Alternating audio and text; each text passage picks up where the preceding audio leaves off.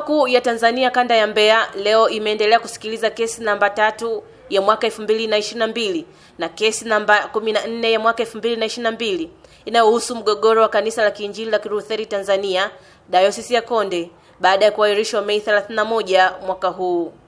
Upande wa mleta maombi mwawakilishwa na wakili William Mashoke, Samson Mbamba na wakili Godwin Musa Mwapongo, huku upande wa mjibu maombi ukiwakilishwa na wakili Dr. Daniel Palangio na Peter Kilanga.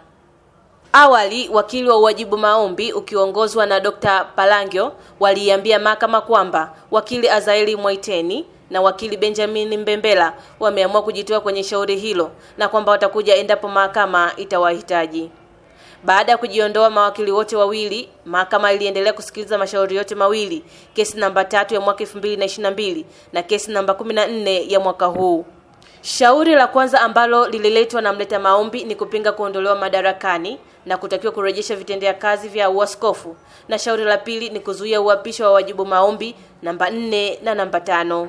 Wakili Dr. Palangio aliiambia mahakama kuwa hoja zilizoletwa na mleta maombi hazina mashiko na pia mahakama hiyo haina mamlaka ya kusikiliza kesi hiyo kwa sababu ni suala la kidini na kiimani.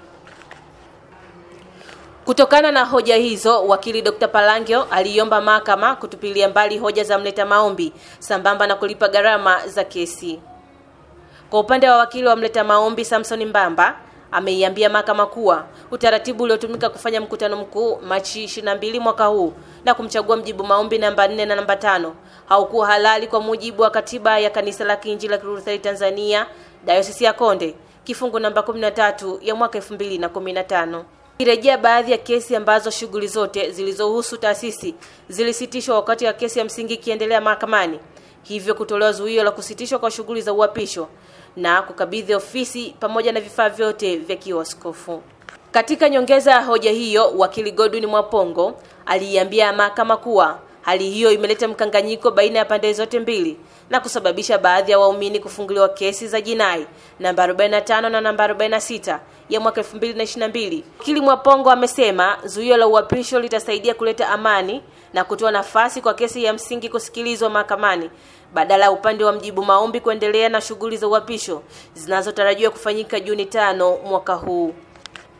Hivyo akaiomba mahakama kwamba kila upande ubebe gharama zake za uendeshaji wa kesi mahakamani hapo. Zungumzia hoja za wakili wa upande wa mjibu maombi Peter Kilanga ameiambia mahakama kwamba hoja za upande wa mleta maombi hazina mashiko kwa sababu shughuli zote za kidayosisi zinaendelea na kinachosubiriwa ni uapisho ambao unampa mamlaka mjibu maombi namba 4 na namba tano kuendelea na kazi.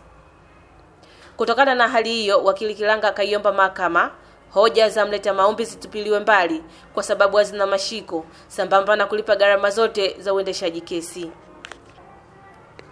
Baada ya kusikiliza hoja za mawakili wa pande zote mbili, jaji wa mahakama kuu ya Tanzania kanda ya Mbeya James Karayemaha ametoa ushauri kwamba kila upande una wajibu wa kuleta amani wakati wakisubiria mahakama kutoa maamuzi juu ya mgogoro huo.